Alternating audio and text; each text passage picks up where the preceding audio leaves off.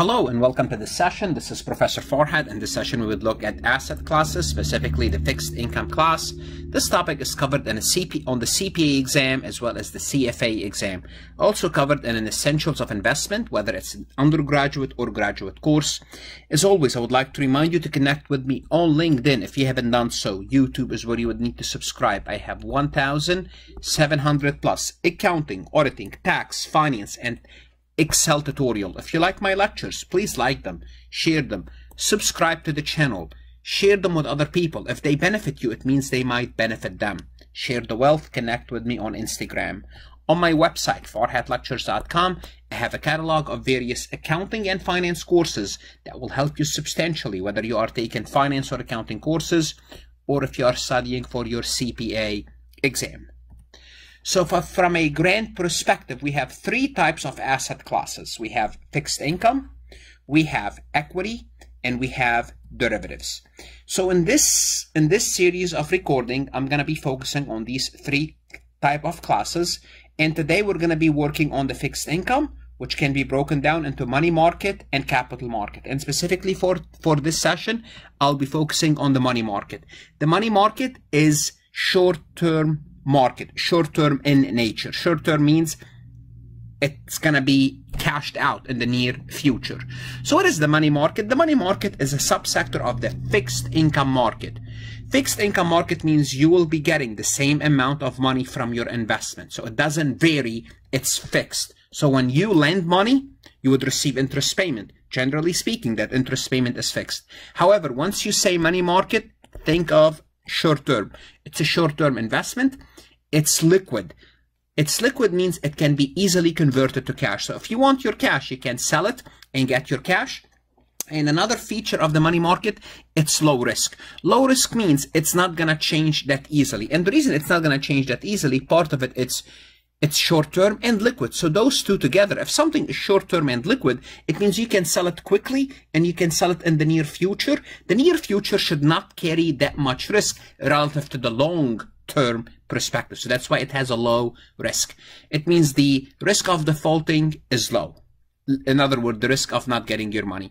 Often those market uh, trade in large denomination, but we're going to look at various types of them, and this is a list of them. We're going to look at treasury bills, which is considered the only risk-free, CD, certificate of deposits, commercial papers, we'll talk about Lehman Brothers, bankers acceptance, we use in international trade, euro dollars, repos and reserve, again, we'll talk about Lehman when we talk about repos and reserve, the federal fund, the borrowing between the banks, most of these instruments are sold at a discount. What does discount mean? It means it's below the value. So when, when someone sells you a treasury bill, let's, I'm just going to give you a quick example. They may sell it to you for 10,000, okay? But the face value is 10,000. The difference between what they sell it for you, for you now and the face value is a 1,000, and that's the interest that you earn on that bill because you purchase it for a 9 when it matures it matures at 10 and we'll look at a real example in a moment. So let's look at specifically treasury bills. What is treasury bills? Sometimes they're called T-bills, sometimes just called bills uh, for short, but they're highly liquid. Highly liquid means they can be easily traded. Why? Look, listen, listen, to me. Why? Because it's the, the United States government. Okay. Most, the, it's the most marketable of all money market instrument. Why? Because the US government raises money by selling those papers. So when the US government, when Uncle Sam from Washington wants to borrow money from the market, they sell you those, those T-bills, those treasury bond, those treasury bond. So investors buy the bill at a discount from the stated maturity rate. So when the government sells it to you, they say, okay, if this is a $10,000 if this is a $10,000 bond, look, it's printed on at 10,000, only give us 9,800. And guess what? When you come back, when it matures, we'll give you $10,000. So it's sold at a discount. Okay, the 9,800 is the discount. Okay, so as the bill as the bill reaches maturity, the government pay the investor the full amount or the face value. The face value again is 10,000. It's printed on the bill. And those bills comes in different maturities, whether it's 4 weeks, 13 weeks, 26, 26 or 52. Simply put, 52 weeks is, is a year. So they, they, they come in less than a year a maturity value. So individual can purchase these treasury bill right from the government or they can they can buy it from the secondary market from the government dealer. And those securities, unlike other money market instruments that we will see later that they that they sell with a minimum of 100,000 because they target large corporation, T-bill, they sell in the minimum of only 100, but 10,000 is a very common denomination. But simply put, anyone can lend money to the government as long as they buy those T-bills. And by the way, those T-bills are taxable at the federal level, but they're exempt from the local and state level. Let's take a look at how they trade. So let's take a look at this bill, October 12, 2017. This is the maturity date. Days to mature is 177 days. The bid is 0.905. The ask is 0.809. It's changed from the prior day, and this is the yield. So how do we read this uh, treasury bill? So, so the, the bill obviously maturing October 2nd, 2017 and we are 177 days before this date. So we have to count back 177 days which is October 18th 2017 so they tell you how many days it's still to mature. Now why is this important? Because if you buy this bill if you buy it you're going to be earning interest for the next 177 days because from the time you buy it the interest will start. So the yield under the column asked is given as 0. 895. What does that mean? It means that the dealer was willing to sell you the bill at a discount from the face value. So the price of it is 0.895 times the amount it's going to take until it matures. So you'll take the price, they will sell it to you at this price, times the time it's going to mature. So it's yielding 0.4410. So a bill with a 10,000 face value could be purchased, sold to you at 10,000 minus 0.8 0044 with this is what it's going to earn. So they will sell it to you today for 900 900 and 9956 that's what they sell it to you for. The same thing could be said if they want to buy it uh, sim similarly on the basis of the base yield of 0.95 okay this is what they they would buy it. A dealer would be willing to purchase the bill from you if they want to purchase it.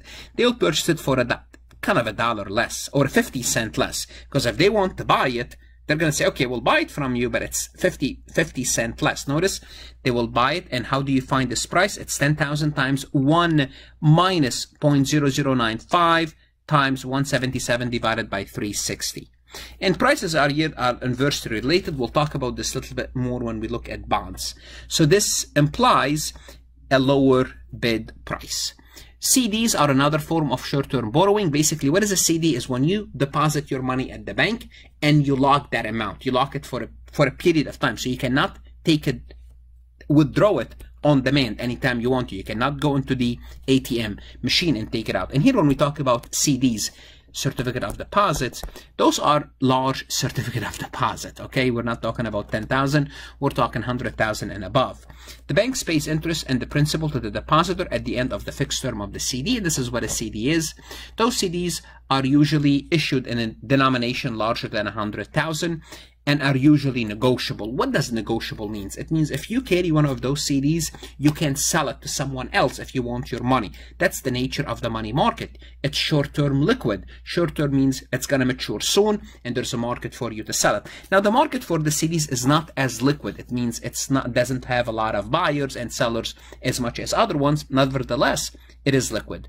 It can be sold to another investor if the owner needs the cash in the certificate before it matures. It's marketable. However, there's a thin out for maturity. Market significantly thin outs for maturities of three months or more. So it's marketable when the when the maturity is less than three months. This is when it really becomes very much uh, very very marketable. CDs are treated as bank deposits by the Federal uh, Deposit Insurance Corporation FDIC. It means that CD, a you know, you could have up to 250,000. Any anything more than that and your losses, we cannot guarantee it. So the CDs are considered part of your savings account, basically, or your checking account. Another form of uh, money market is commercial papers, or for short, CP. And Lehman was notorious for this, and we're going to talk about this a little bit more.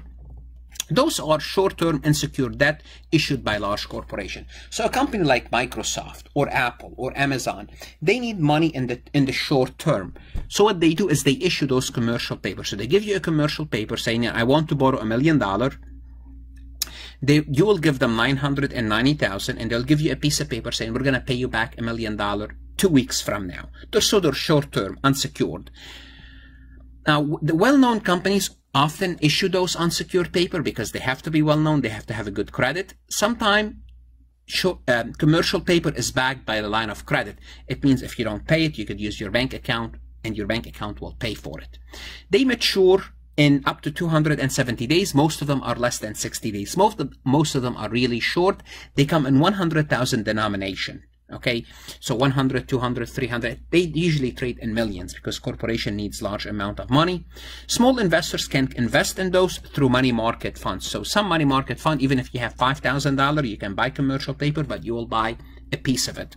Commercial paper are safe because of its short-term nature. Well when we say safe because some of them were not safe but let's put safe in quote and the reason it's safe because every time something is short term, it's safe. So their sensitivity uh, they're, they're, they're traded in the secondary market. It means they are quite liquid. They can be sold and bought anytime you want to. And they are rated. Rated means, for example, when Microsoft wants to issue those commercial paper, Microsoft is AAA rated by one of the agencies like Standard and Poor's. So they're rated. They give security. They, they give confidence to buyers and sellers. And the yield on the commercial paper depends on the time of the maturity and the credit rating. Obviously, the longer the maturity, the more the company will have to pay. And the lower the credit rating, the lower the credit ratings, they, the more they have to pay. So if you have AAA, you might pay 2%. If you have AA, you might have to pay 2.5. If you have an A rating, you might have to pay 3% to raise money because your rating goes down. And the longer you want, to, uh, the, the, the longer you're borrowing, the more you have to pay. The yield, yeah, the yield is depending on the maturity and the credit rating. Historically, those papers were issued by non-financial firms, simply put, non-banks. But what happened in the years leading to the financial crisis, and I talked about this in the prior session, there was a sharp increase in the so-called asset-backed commercial paper. So what companies started to do, like Lehman Brothers, what they started to do, they started to borrow money using, using their assets for the commercial paper. But guess what? Their asset was no good. Their asset was, I'm sorry to say this, was crappy. So it was issued by non, non, non, by financial firms such as bank. This short-term commercial paper was used to raise funds from the issuing firm to invest in other assets, mostly notoriously subprime mortgage. What they say is, give us the money, we need to take this money and buy subprime mortgage. Mortgage is long-term. Commercial paper is short-term. So what you're doing is you are borrowing money on a short-term basis to buy asset on a long-term basis. So these assets were in turn used as collateral, those long-term assets, and that's why it's called asset-backed, which is very risky business. By 2007, those subprime mortgage began defaulting. The bank found themselves unable to issue new commercial paper to refinance their position as the old paper matured. And what happened to this commercial commercial paper market when Lehman went down? It, it infected all the other commercial paper and everybody was scared of dealing with commercial paper. So everybody started to withdraw their money. And I talked about this in the prior, in some other prior session in this course. Everybody took their money and put it in treasury bill and the commercial paper collapsed and the commercial paper is needed for corporation to raise money. So it was a big deal. Another form of a short-term short-term money market is banker's acceptance and banker acceptance is used when a company is importing and exporting basically international trade buying from overseas customers. Basically it's an order to a bank by a customer to pay some amount of money at a future date. So simply put if you have a banker acceptance it means the bank is guaranteeing a payment for you. So when you want to buy from china if you want to import something from china the chinese the Chinese firm doesn't know who you are, so how would they trust you? The bank would say, look, I will, I have a banker's acceptance. I will guarantee this, this individual or this firm. Okay. So typically it's within six months because the bank doesn't want to take any longer chance on you. Uh, like a post-dated check. Basically, you give them a post-dated check, guarantee that the bank will honor that check. Once the bank endorses, once the bank honors the order of payment as accepted, it assumes responsibility for the ultimate payment. So the bank use, do so. And once that happens, the instrument becomes negotiable. It means whoever holds that instrument, they can sell it in the secondary market for something. So if, if the person in China doesn't want to wait to wait for you to pay them the money, they can sell it in the secondary market. So the banker acceptance are considered very safe because basically the bank guarantee them, obviously. So as they allow traders to substitute bank credit standing of the, for their own. So this simply put, it's a guarantee by a bank that you they will make the payment. Okay. They are used widely in foreign trade, as I told you, where the credit worthiness of one trader is unknown to the other partner. Acceptance sells at a discount, just like the T-bill. When, when you have it, it sells at a discount. Euro dollars, uh, this is the biggest misnomer. Euro dollars has nothing to do with euro. It's dollar denominated deposit. So it's US dollar. It's not euro. It's not euros. It's actual US dollar deposited in foreign banks. And those deposits escape the regulation by the Federal Reserve because in euro because they're in, in some other country. And the tag euro, it's not really, they, don't have to be Europe. They can be in Asia, they can be in South Africa, they can be in South America. They're still considered euro dollar because it started deposits in Europe, but it's all over the place. But that tag continued. So uh, most euro dollars are large sums of money by corporation, and most of the time they are CDs less than six months in maturity. Then we have something called euro dollar certificate of deposit, which is kind of a domestic bank CD, but it's in, in a foreign country. It's, it's liability of a non-US branch of a bank, typically a London, basically holds the liability for those. And we have also the euro bonds or euro dollar bonds. It's either firms or countries, they try to borrow money on a long-term basis. So euro bonds are not money market. They're basically part of the bonds market, but nevertheless, we just want to make sure that you don't you differentiate between euro dollars, euro certificate, and euro bonds because they all carry the term euro. So euro bonds are bonds issued in US dollar, but they are sold overseas. Another type of money market is repos and reserve. Again, Lehman Brothers was notorious for using this this uh, this type of uh, short-term money market instrument. They're short-term sales of securities with an agreement to repurchase the securities at a higher rate. So simply put, what happened is Lehman will have some asset usually mortgage-backed security. And what they do, let's assume they have a million of million dollars of them. They want they want money right away. They want nine hundred and eighty thousand. So what they do is they transfer this this mortgage-backed securities to a lender, and the lender will give them back nine hundred and eighty thousand. Lehman would give them mortgage-backed securities worth a million, Okay, so this is the lender, the other party. And what happened, Lehman, a week later, Lehman will go back and say, okay, we're going to give you back the million, give us back our securities. And the lender basically made 20,000 because he, the, the lender only gave them 980. This is what a repo is. So I would sell it to you that I will buy it back at a higher price.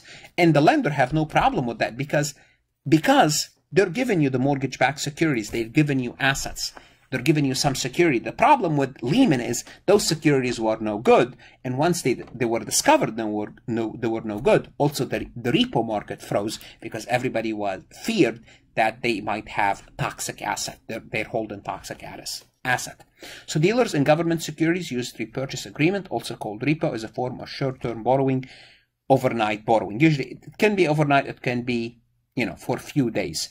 So if, you, if you're a dealer in government securities, basically buying and selling government securities, you could use those securities to raise cash. Okay, the dealer sells the securities to an investor as, a, as an overnight basis when the agreement to buy back those securities the next day at a higher rate. So if, if somebody needs a loan for a million dollar, it's okay, I'll give you 990,000 today. Give me those securities tomorrow, buy it back from me for a million. So that's the difference is my interest. The increase in the price is the overnight interest. The difference is the overnight interest. The dealer thus takes out one day loan from the investor. The securities serve as a collateral. So you give them the you give them the, the bonds that you have and you get the money. Tomorrow, the following day, you give them back the money that they gave you plus a little bit of interest and they'll give you back the bonds. repos are considered very safe again unless you are you are dealing with with Lehman in terms of credit risk because the loans are literally overnight or close to overnight and they are securitized. So you're lending lending me the money for one or two days or a week. I should exist within one week and i'm giving you some assets. And that, but that's not what happened with lehman. It was crazy time. The lehman's the assets were no good and Lehman did not survive. We also have what's called reserve re, reverse, which is the op opposite of a, of a repo. A reverse is a mirror image of a repo where the dealer find an investor, now it's the other way around, holding holding government securities and buy them with an agreement to resell them. So now the dealer is buying the securities rather than needing of the cash. It's the opposite of a repo. A broker's call, um, if you never watched that movie, Margin Call, you should watch that movie. What happened is when you have a brokerage account, let's assume you have, for the sake of illustration, you have uh, $30,000 in that account. Well, guess what? You have 30,000, then the broker will give you another 30,000. So now you have a power, a purchasing power of 60,000 to buy securities. What's happening now is you are buying on margin. Now, this additional 30,000, the brokers buy it, the brokers get it from the bank. Okay, so individual who buy stocks on margin uh, borrow part of the funds to pay to pay stocks from their broker. Now, the broker, in turns, may borrow the funds from a bank. And that's why when we have liquidity in the market, the Federal, the Federal Reserve gives money to the bank, the bank lend it to the brokers, the brokers lend it to the investors, we have a lot of liquidity, the stock prices goes up. So when you say, well, the stock prices go up because of liquidity, because the banks and the federal system are dumping money into our stock market. So agreeing to repay the bank immediately on call if the bank requests it. So the broker will say, look, if you want the money, I can get, get you the money anytime on call. And there's that movie called Margin Call. You should watch it if you're interested in the stock market. So the rate paid on such loans are usually about a percentage above the treasury bill. So usually whatever the treasury bill is, then they will charge you another percentage. Let's talk about the federal funds. This is, we're dealing with the Federal Reserve. This is the funds and the account of commercial bank at the Federal Reserve. So every bank, when they accept a deposit, let's assume they accept a $100,000 deposit, they, they have to put some money, let's assume $10,000 of this deposit in the Federal Reserve. That's why they have to put that money. So it's bank maintain a deposit of their own at the Fed. For example, here, 10,000 of the $100,000.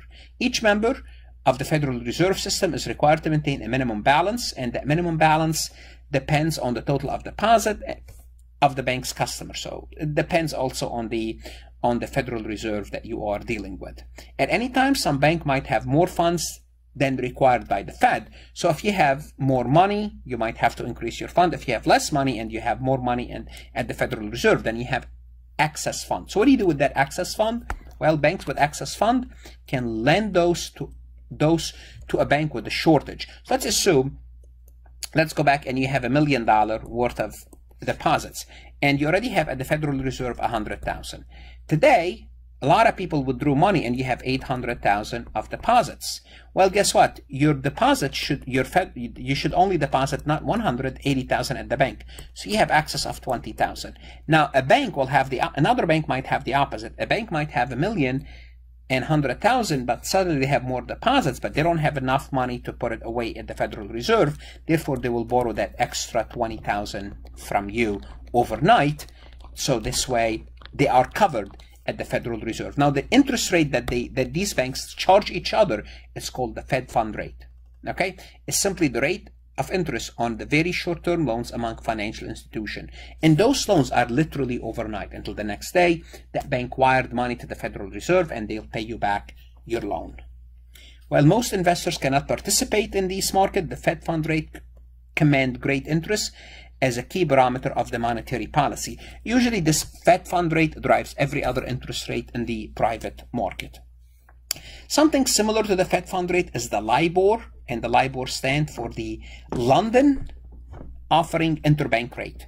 Uh, this is the lending rate among banks in the London market. Here we're talking about European, mainly the British. It's the pre premier short-term interest rate quoted in the European money market and serve as a reference rate for a wide range of transaction. It reflects the rate at which bank lend among each other. You remember we talked about the Fed fund rate? The US bank lend amongst each other. Now, LIBOR is the European bank lending among, among each other. Also, when banks make loans out, what they do they would say, we're going to charge you LIBOR, whatever LIBOR is, plus 2%. Now, there is a big, a big scandal about this. It's beyond the scope of this course, or I don't, you know, I'm not going to discuss it in this recording. Um, so LIBOR is kind of going to be phased out shortly. Okay, so hundreds of trillions of dollars, mortgages, loans, and derivatives contract are based on LIBOR. So LIBOR is very important. We have also Euribor, which is the European interbank offer rate, and we have TIBOR, the Tokyo interbank offer rate, are quoted in terms ranging for from overnight to several months of interest rate. So the, those are also kind of benchmarks. They're all based on surveys, basically. And this is what happened with LIBOR. The surveys were, were, were monkeyed with of rates reported. So notice it's reported by participating bank rather than actual transaction. So the, what the banks were reported and the actual rate, they were not the same. And this is the problem with LIBOR. The British regulators have proposed phasing out LIBOR by 2021 and replace it with something called SONIA, the Sterling Overnight Interbank Average Rate. Very interesting names. Um, yield on, on money market instruments. So it's very important to understand that concept, yields on money market instrument, because money market uh, money market securities are low risk. So they're not risk free. Why? Because the only thing that's risk free is the US Treasury bill. In theory, the US government can always pay back their money. So we have to be aware of this. The securities of the money market promise yields greater than those default free T-bill, at least in part because of the relative greater risk. So the money market, all money market yields greater than the treasury bill. It should because the treasury bill is the safest thing you can have when you give your money to the US government. This is what we started with. You remember the T-bill or the bills? Those are the safest. So, so investors who require more liquidity also will accept lower yields on securities such as as T-bills so they can be quickly and more cheaply sold for cash. So if you want liquidity, you'll have to accept lower yield. Accepting lower yield means you have T-bill is your best yield. And history shows that that's the case. For example, CDs consistently, consistently certificate of deposit had offered a higher yield than T-bills. So look, okay, consistently, this is the spread between the two. It means the difference between the, the CD, the CD certificate of deposit and the treasury bill rate. Notice in terms of, in times of crisis, it spikes. It spikes. And that makes sense. Okay? So, because if you want safety, you go with the, you go with the treasury bill. Otherwise, you know, everything else is less safer. Okay. Also, what we, we have what's called the TED spread. Just give, give me one second here. The TED spread is the difference, is the difference that, uh, erase this. The, the TED spread, that's another thing that they look at, is the difference between LIBOR and LIBOR and US Treasury. That's another rate that's that's monitored very closely. And let's look at the TED spread. Also, the TED spread is the kind of show the same thing. When there is riskiness in the market, that spread increase. And that's why in the financial market, they follow the TED spread when the difference between LIBOR and the treasury rate goes up, when, when the difference between them spread a lot, then it's a risky time. That's, that's, that's an indication of risk. In the next session, we would look at the bonds market. As always, I would like to remind you to connect with me, link, like on LinkedIn, like my lectures, share them. If they benefit you, it means they might benefit other people. And don't forget to visit my website, farhatlectures.com. And of course, stay safe if we are still living through this coronavirus. Good luck and study hard.